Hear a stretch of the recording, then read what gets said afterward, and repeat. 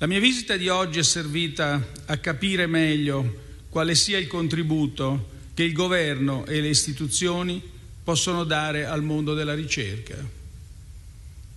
Vogliamo sostenervi, vogliamo agevolare il vostro lavoro e ovviamente senza ingerenze, nel mio caso almeno, creare le condizioni economiche e culturali perché possiamo, possiate progettare e crescere, facilitare le collaborazioni internazionali di cui questi laboratori sono un esempio virtuoso, e promuovere la cultura del merito con la consapevolezza che i risultati possono non essere immediati, perché, come ci ricorda il professor Parisi, il lavoro migliore di una vita di ricerca può saltare fuori per caso e le sue applicazioni apparire in campi assolutamente imprevisti.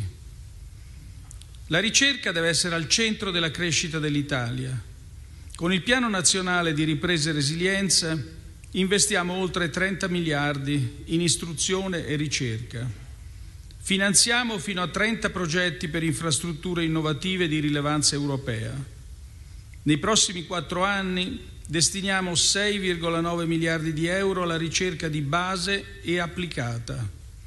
A dicembre abbiamo pubblicato bandi che si sono chiusi questa settimana, grazie Ministra, per un totale di circa 4,5 miliardi di euro.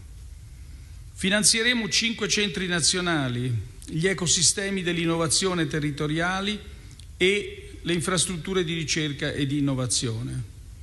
Il nostro obiettivo è favorire il progresso scientifico e coinvolgere le nostre migliori competenze.